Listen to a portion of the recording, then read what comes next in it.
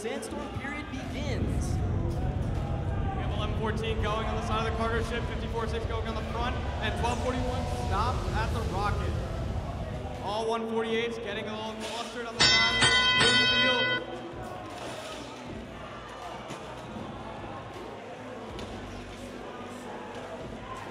We have 148 placing a hatch, another 148 placing a hatch, and one 148 getting a cargo right now. 1241 going on the left side of the cargo ship, trying to get some points, while the other two robots try and work on this rocket on the right hand side. 1241 and 5406 having great synergy on this side of the red field. 148 playing almost. Oh, they're coming for defense. Will 5406 react? Oh, no, they're going for a hatch now. 1241 getting another cargo into the cargo ship. And 1114 is stuck at the feeder station getting another hatch. This match is proving anything, it's that anyone can drive with a limelight.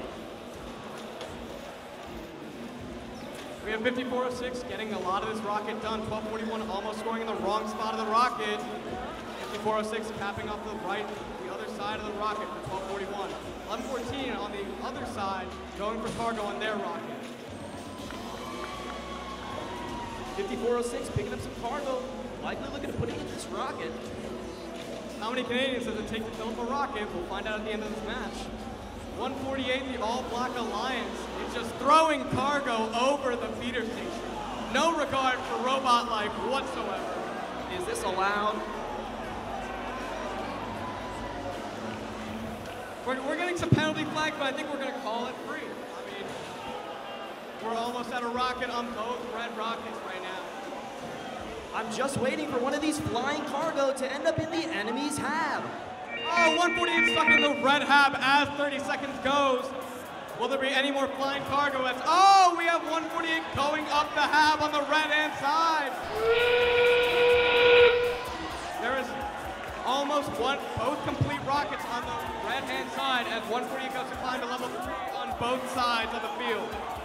148 having some trouble staying on that level 2 hab on the right field at 5406 ruthlessly rides him off the half. 11-14 on the edge. Oh, we got it. Oh, no, no, no.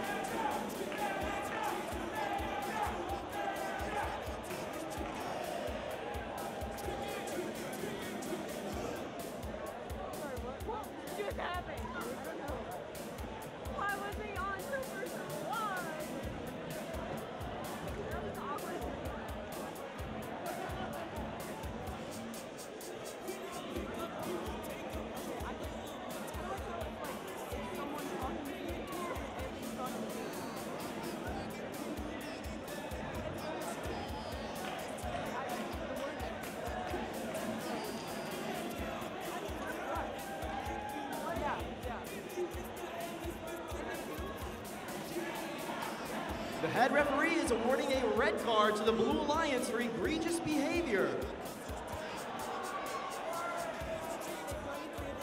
High score of the night. I'd like to say it's first, and you all saw the match. The Red Alliance holds off the victory with a score of 160 to 61.